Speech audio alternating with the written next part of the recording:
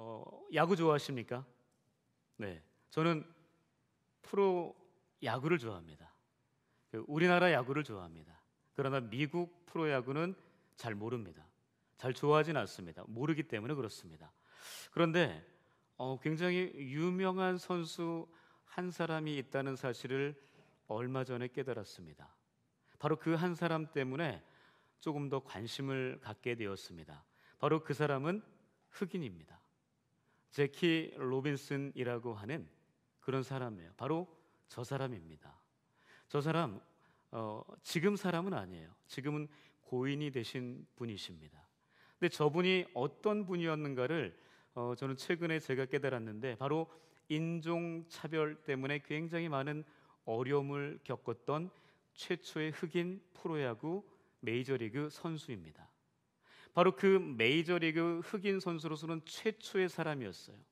이분이 1947년에 어, 이제 처음 메이저리그에 나오게 되는데 바로 이분의 이 어, 모습 속에서 어, 많은 사람들이 도전을 받고 많은 사람들이 정말 와, 이 사람이 어떻게 아, 이런 일을 이루어낼 수 있었을까 하는 그런 어, 많은 도전을 받았던 그런 인물입니다. 바로 이분은요, 10년 동안 딱 메이저리그에 있었는데 바로 LA 다저스 여러분 잘 아시죠? 바로 LA 다저스의 전신이었던 브루클린 다저스에서 활동을 했던 분이십니다.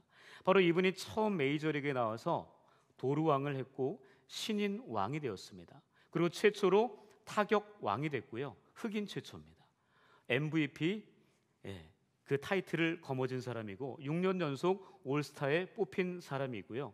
그리고 다저스 사상 1955년에 처음으로 이, 이 브루클린 다저스가 월드 시리즈에서 우승을 하는데 바로 그 큰 역할을 했던 분입니다. 그로 인해서 62년에는 야구 그 명예의 전당에 오르게 되는 그런 위대한 인물이었습니다. 그의 모든 것이 최초였습니다. 흑인으로서.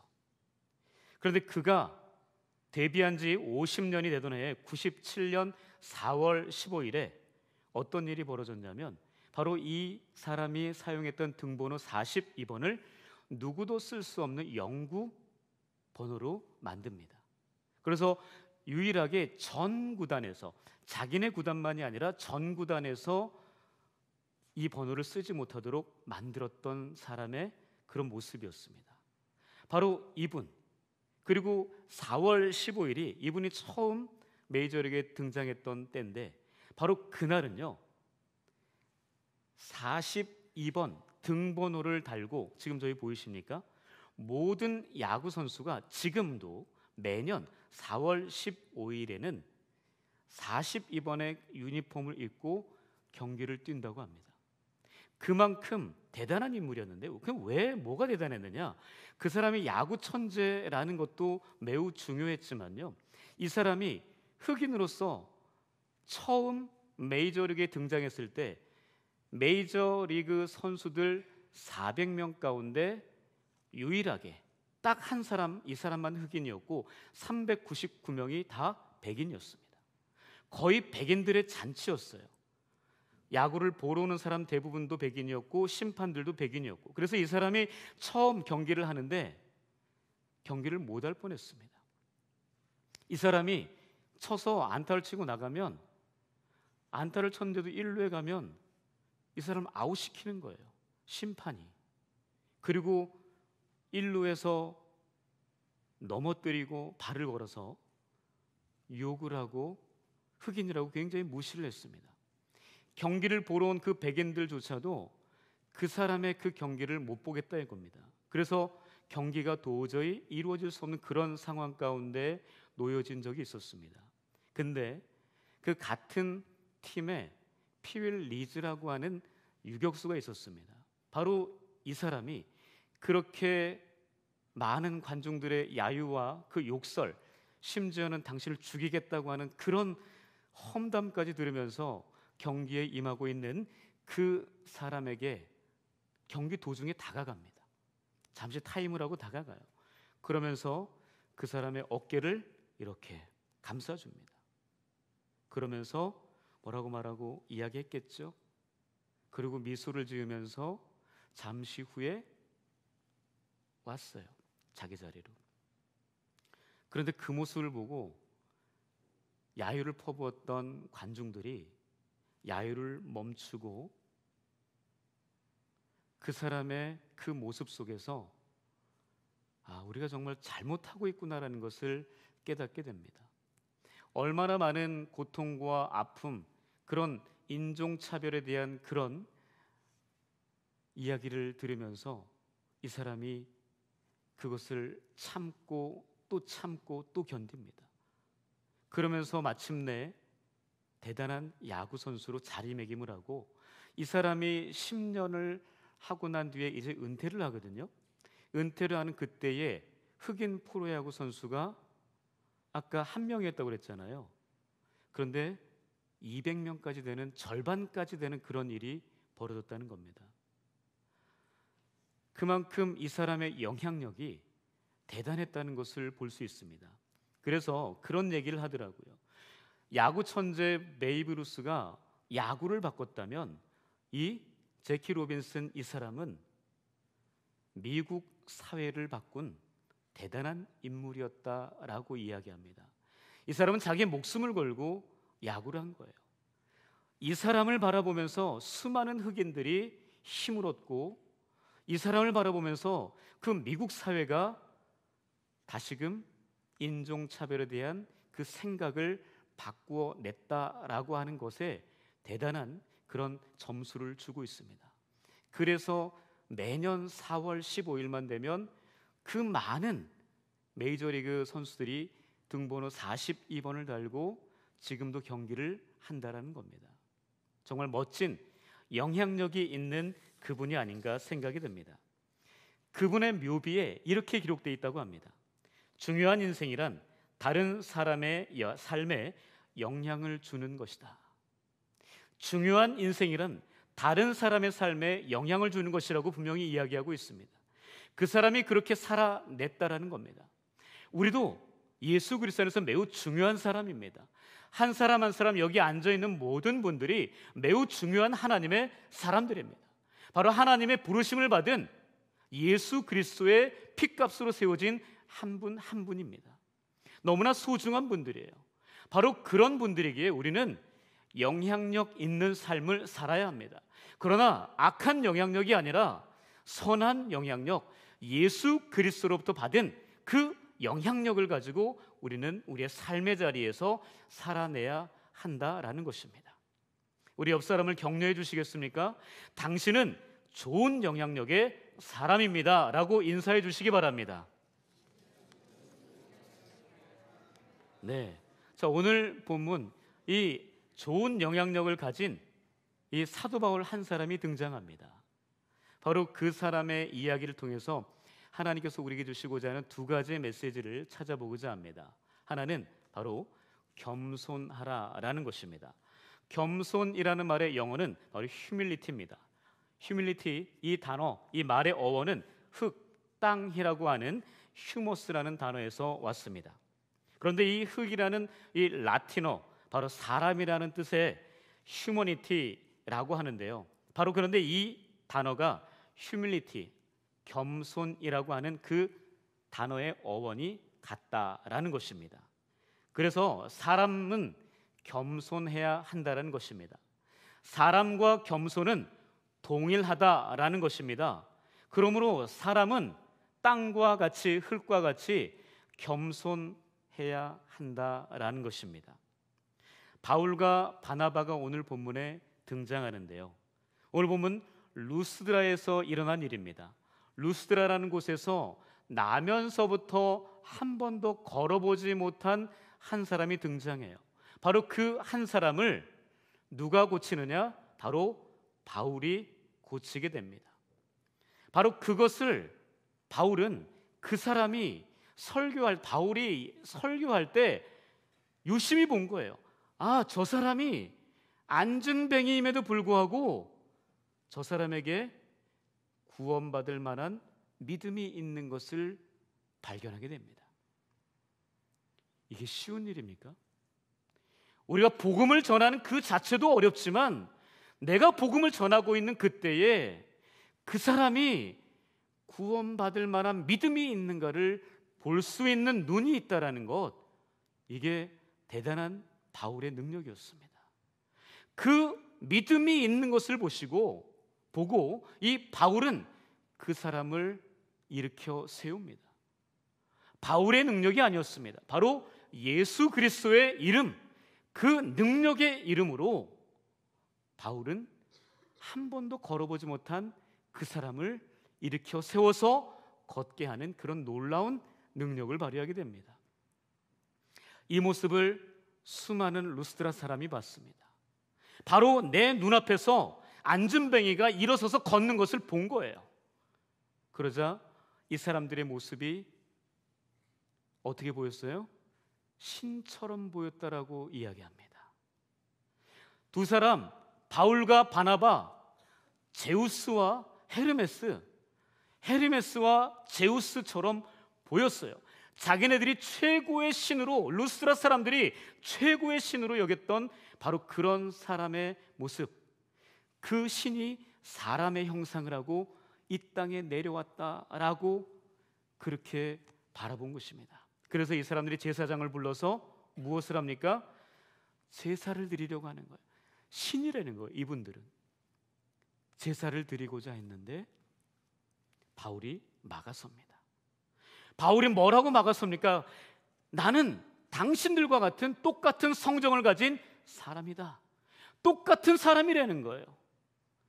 그러기 때문에 우리에게 제사 이런 거 높이는 거 필요 없다. 겨우 말려서 그들을 잠잠하게 합니다. 여러분 어떻습니까? 누군가 나를 세워줄 때, 누군가 나를 정말 띄워줄 때, 바로 그때 이 바울과 바나바처럼 하실 수 있겠어요? 어떤 능력이 나타나서 내가 그렇게 행했는데 내 능력은 아니에요. 그런데 그 능력이 바로 내가 행했기 때문에 그 능력을 보고 나를 신처럼 떠받드는 거예요. 여러분 이단 교주가 그렇지, 않습니까? 바로 그런 이야기를 듣고 그 사람들이 높이기를 시작합니다. 여러분 바로 그때 가능하시겠어요 이렇게? 여러분 쉽지 않습니다. 바울과 바나바처럼 우리는 절대 그런 사람이 아니라고. 우리를 신처럼 여기지 말라고. 그렇게 말할 수 있겠습니까? 그러나 바울과 바나바는 그렇게 했다라는 거예요. 여러분 저는 목회자입니다. 목회자가 저는 이 부분에 대해서 제일 걸리는 사람이 아닌가 생각이 듭니다. 교만할 수 있는 환경이 널려 있어요. 조금만 잘하면 많은 성도들이 그렇게 집중하고 잘한다고 칭찬하고 그렇게 목회자를 지켜 세웁니다. 그때 정말 쉽지 않은 거예요. 내가 한 것처럼 내가 잘난 것처럼 내가 그런 기적을 일으킨 것처럼 그렇게 착각을 하면서 그렇게 누리고 싶다라는 거죠. 말은 그렇게 하지 않습니다. 나는 절대 교만하지 않습니다. 나는 그런 사람 아니에요. 나는 겸손한 사람입니다. 라고 이야기하지만 행동은 아, 저 사람들이 조금 더 나를 세워줬으면 좋겠는데. 아, 저 사람들이 나를 조금 더 높여줬으면 좋겠는데. 그럴 수 있다라는 거죠. 여기 많은 지도자분들, 사회에서 그렇게 리더로 세우신 그런 영향력 있는 분들, 그럴 때가 있지 않습니까? 내가 이것을 한 것처럼, 교회에서도 내가 이렇게 한 것처럼, 이때 우리가 중요하게 생각해야 될 게 바로 이런 바울과 바나바의 모습이라는 겁니다. 바로 이런 겸손함이 있어야 된다는 거죠. 흙처럼 땅바닥에 납작하게 엎드리는 이런 겸손함이 필요하다는 것입니다. 우리가 잘나서가 아니에요. 나에게 우리에게 능력이 있어서가 아닙니다. 우리는 흙이에요. 너무나 연약한 존재입니다. 바로 그 정체성을 올바로 깨달아 그 깨닫는 것으로 끝나는 것이 아니라 깨닫고 행동으로 보여주어야 한다는 거죠. 바로 바날과 바나바와 바울은 바울과 바나바는 그 모습을 보여주었습니다. 그리고 두 번째 우리가 생각을 해봐야 될 것은 바로 이것입니다. 두 번째 바나바와 바울은요, 나에게 고난을 준 그곳으로 다시 돌아가 복음을 전했다라는 것입니다. 바로 이것이 바른 믿음의 모습이었어요. 겸손한 모습이 바른 믿음의 모습이었고, 바로 그 모습 때문에 바울은 자신에게 고난과 아픔을 준 바로 그 현장, 그 사람들에게로 다시 들어가서 복음을 전할 수 있었습니다. 여러분 앞에서 지금 살펴본 것과 같이요. 18절까지는 바울과 바나바가 신으로 추앙받아서 굉장히 막 사람들이 집중하고 막 이렇게 높이던 그런 상황이었습니다. 그러나 본문 19절 바로 다음 절이에요. 바로 다음 절에서는요. 나락으로 떠진, 떨어진 모습을 볼 수 있습니다. 다른 지역에서 온 유대인들 바로 19절인데요. 한번 읽어 볼까요? 19절 같이 함께 읽어 보겠습니다. 자, 시작. 유대인들이 안디옥과 이고니온에서 와서 무리를 충동하니 그들이 돌로 바울을 쳐서 죽은 줄로 알고 시외로 끌어 내치니라. 바로 안디옥과 이고니온에서 온 유대인들이 루스드라 사람들을 충동해서 바울을 돌로 쳐 죽였다는 겁니다. 그래서 그 죽은 바울을 시외로 성 밖으로 내버렸다는 거예요. 아까와는 완전히 다른 상황 아닙니까? 여러분 이 상황을 보면서 누가 생각이 나요? 예수님 생각 안 나십니까? 그렇게 수많은 이스라엘 백성들이 주님께서 예루살렘 입성하실 때 호산나 하면서 하나님 아들이라고 찬양한 거 아니에요? 메시아 찬양한 거 아니겠습니까? 그러나 그 사람들이 돌변해서 바나바를 바나바인가요? 누구예요? 누구를 살려준 거예요? 죄인 괴수 누구를 살리고 예수를 죽이라고 그랬죠? 예? 바나바 맞아요? 바나바 맞습니까? 바라바죠. 바나바가 아니고 바라바예요. 네. 예수 그리스도 그렇게 돌아가셨잖아요.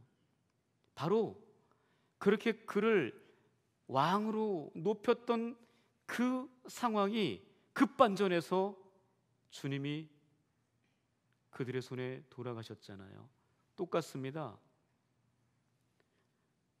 바울이 그렇게 신으로 추앙받다가 바로 그 다음 구절에서 돌로 쳐 죽임을 당했다라는 거예요. 여러분 우리 인생 이럴 수 있는 거 아니겠습니까? 우리의 삶 이럴 수 있는 거 아니에요? 사랑하는 내 남편이 내 아내가 내 자녀가 나의 부모님이 갑자기 무슨 일을 당할지 누가 장담할 수 있겠습니까? 누가 알 수 있겠어요? 이런 상황을 경험하지 말라고 누가 호언장담할 수 있겠습니까? 이렇게 된 상황에서 여러분이 바울이라면 어떻겠어요? 돌로 쳐 죽임 당한 그 상황, 그 사람들, 그 장소로 가고 싶으세요? 절대 가고 싶지 않, 저도 가고 싶지 않습니다. 그러나 바울은 죽지 않고 그러니까 죽었으면 상관이 없는데 죽지 않고 다시 일어나서 그 성에 들어갔다라고 이야기합니다. 여러분 이게 쉬운 일이에요?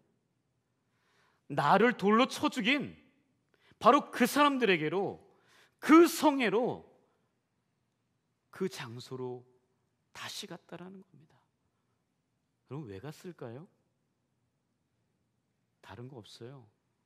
아직 미처 못단 복음 때문에 내가 받은 그 은혜 때문에 나에게 남겨진 그 사명 때문에 간 거예요. 아직 내 목숨이 살아 있으니까 비록 돌로 맞아서 지금 죽을 지경이 되어서 겨우 살아났는데 눈을 뜨자마자 그 성으로 또다시 들어가는 거예요. 이게 어떻게 가능한 일이겠습니까? 불가능한 일 아니에요? 저와 여러분들이 할 수 없는 일 아닙니까? 근데 바울은 했다라는 거죠. 그 성에 들어가서 바나바와 함께 또 다른 지역 더베로 가서 복음을 전해서 제자들을 키워내는 그 모습. 여러분 우리 선교사님 가운데 대단하신 선교사님 한 분이 계십니다. 우간다의 나이팅게일 기억하시죠? 시스터 킴이라고 하는 김종윤 선교사님. 바로 그분이 저는 이런 분이 아닌가 생각이 들었습니다. 바울과 같은 분이 아니었나 생각이 듭니다. 이분 평생 결혼하지 않고 우간다 그 사람들과 결혼하셨어요. 그러면서 거기에서 평생을 간호사로 살면서 복음을 전하셨습니다. 그런데 수십 년 동안 그렇게 복음을 온 몸으로 전하다가 2016년 아 2006년 4월에 설 수도 없고 앉을 수도 없고 걸을 수도 없는 그런 척추 골절상을 입으셨습니다. 그래서 우리 한국에 돌아오셔서 이곳에서 두 번의 수술을 받고 6개월 동안 이제 쉬는데 이 선교사님이 마음이 너무 불편한 거예요. 우간다 사람들의 얼굴이 눈에 밟혀서 여기에 더 이상 쉴 수가 없는 거예요. 그래서 아픈 몸을 이끌고 다시 우간다로 떠나셨습니다. 낫지도 않았는데 아직도 허리를 쓸 수가 없는데 다시 가셨어요. 왜 가셨을까요? 왜 우간다 비행기에 다시 오르셨을까요? 그 오지에 너무나 불편한 그곳에 제대로 치료도 받을 수 없는 그곳에 또 가셨을까요? 나에게 아픔을 주고 척추골정상을 입혔던 그 나라에 왜 또 갔을까요? 다른 거 아니었습니다. 오직 복음에 대한 빚진 자의 사명 때문이었습니다. 그분 그곳에 가셔서요. 누워서 복음을 전하셨대요. 서 있을 수가 없으니까 누워서 복음을 전했다라는 거예요.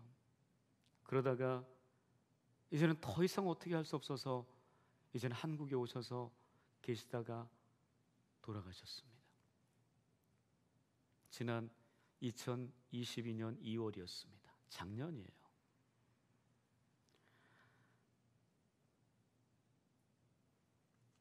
또 한 분을 소개합니다. 여러분 잘 아시는 짐 엘리엇이라고 하는 그 아우카 부족 그 친구들 네 명과 함께 같이 그곳에 선교하러 갔다가 5일 만에 선교도 제대로 해보지도 못하고 그들의 창과 칼에 죽임을 당했습니다. 그들의 손에는 총이 있었지만 총을 쏘지 않았습니다. 그냥 그렇게 개죽음을 당한 거죠. 그런데 그의 아내 엘리자베스 이 엘리엇이 1년 동안 간호사 훈련을 받고 그곳에 다시 들어갑니다. 여러분 이게 가능한 일입니까? 자기 남편을 죽인 그 사람들, 그 장소에 다시 가는 거예요. 여러분 가고 싶으시겠어요? 자기 애들 데리고 가요. 이게 가능한 일입니까? 왜 그랬을까요? 왜 그곳에 가서 수년 동안 그 사람들을 섬기고 그 사람들에게 희생하며 그들을 치료해주고 그들을 감싸 안아주고 나중에 이제 몸이 힘들어서 수년 동안 있다가 이제 돌아올 때 그 추장이 물어보더래요. 당신 왜 이렇게 여기 와서 희생하고 우리들을 위해서 헌신했습니까? 그랬더니 하는 말이 그것입니다. 내 남편이 당신들을 너무 사랑해서 그랬다는 거예요. 그 추장이 물어봐요. 당신 남편 우린 난 몰라요. 본 적 없어요. 그랬더니 이 엘리자베스 엘리엇이 하는 말이 그것입니다. 우리 남편은 당신들이 수년 전에 죽였던 그 사람들 가운데 한 사람입니다. 내 남편이 당신들을 너무나 사랑해서 이곳에 와서 복음을 전하다가 죽었어요. 당신들이 죽인 그 남편, 바로 그 당신들을 향한 그 사랑을 나는 다시 전하기 위해서 나는 이 자리에 왔습니다. 그리고 내 남편보다 더 당신들을 사랑한 예수 그리스도의 그 사랑을 전하기 위해서 내가 이 자리에 왔다라고 그렇게 엘리아베스 엘리엇이 이야기합니다. 여러분 이게 쉬운 일이에요? 자신의 남편을 죽인 그 장소 그 사람들에게 다시 복음을 전하러 가는 아내 참 쉽지 않습니다. 바로 엘리자베스 엘리엇이나 김정윤 선교사님이나 본문의 바울이나 바로 그런 복음에 대한 사명 때문에 내 목숨이 붙어 있는 한 그 복음을 위해서는 내 목숨이 아깝지 않기 때문에 나는 그 복음을 전하러 가야 한다.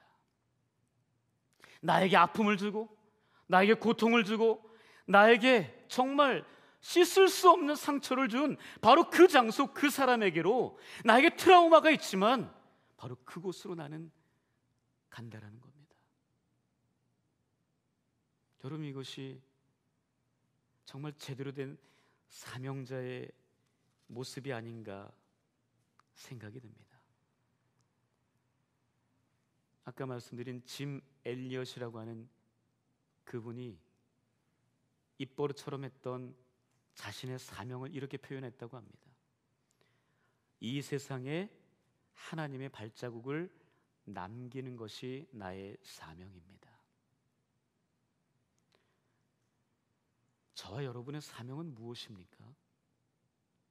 혹시 교만해서 나의 발자국을 남기기 위해서 나의 이름을 남기기 위해서 살아가고 계십니까? 짐 엘리엇은 하나님의 발자국을 남기기 위해서 사는 것이 자신의 사명이라고 이야기합니다. 우리가 좀 더 우리의 사명의 의식을 바꿔봐야 되지 않을까요? 내가 왜 살아가는지, 내가 왜 복음을 전하는지, 나에게 왜 이런 고통과 아픔을 하나님께서 허락하시는지, 이 땅에 수많은 사람들이 있습니다. 내 옆에 있는 예수를 알긴 알지만 믿지 않는 가족들, 믿지 않는 공동체 사람들, 회사 사람들 많이 있을 겁니다. 그들에게 우리 우리가 상처를 입은 적도 많을 거예요. 나에게 고통과 아픔을 준 일도 분명히 기억나실 겁니다. 그러나 다시 한번 바울처럼 김종윤 선교사님처럼 엘리자베스 엘리어처럼 예수님처럼 그런 겸손의 모습을 가지고 다시 그 생명의 복음을 들고 생명을 아까워하지 않고 달려가는 저와 여러분들 되시기를 주님의 이름으로 간절히 축복합니다. 같이 함께 찬양하겠습니다.